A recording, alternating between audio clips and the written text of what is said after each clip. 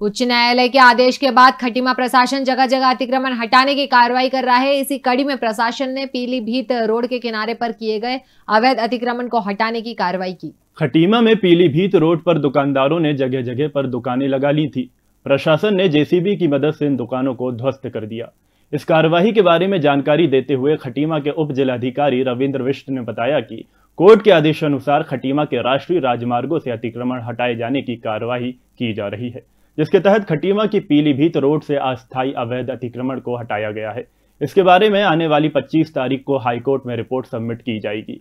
सरकारी भूमि पर किए गए अतिक्रमण को हटाने की कार्यवाही आगे भी जारी रहेगी। लेकिन माननीय हाईकोर्ट के आदेश जो भी हमारे नेशनल हाईवे स्टेट हाईवे उसे अतिक्रमण हटाया गया लिहाजा इसी के क्रम में हमने पहले भी घनकट एरिया में हमने अतिक्रमण हटाए हैं। और आज यहाँ पर पीबीत रोड में हम पी डब्ल्यू के साथ मिलकर यहाँ पर सारे अतिक्रमण हटा रहे हैं। जो आर होता है हमारा पी डब्ल्यू का राइट ऑफ़ रोड उससे हम सारे अतिक्रमण को कि पच्चीस तारीख तक हमने एक्शन टेकन रिपोर्ट सबमिट करनी है माननीय उच्च न्यायालय में तो अभी फ़िलहाल हम ये पूरा जो टेम्प्रेरी स्ट्रक्चर है या परमानेंट स्ट्रक्चर है जो राइट ऑफ़ वे में आ रहे हैं उनको हटाएँगे बाकी जो सरकारी भूमि है उसमें अलग से कार्रवाई की जाएगी Rabindranath Tagore University Bhopal, only private university in MP to be NIRF ranked for five consecutive years. जहाँ है 600 से ज़्यादा company tie-ups for placements, Atal Incubation Center for nurturing startups, Industry Academia collaboration for exposure of real industry world, 20 centers of excellence for research, साथ ही global festival विश्व रंग में शामिल होने का अवसर देता है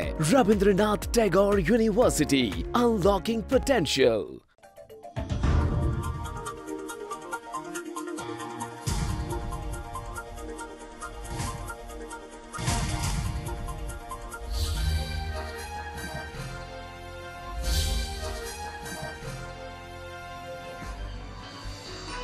आप देख रहे हैं दखल न्यूज़।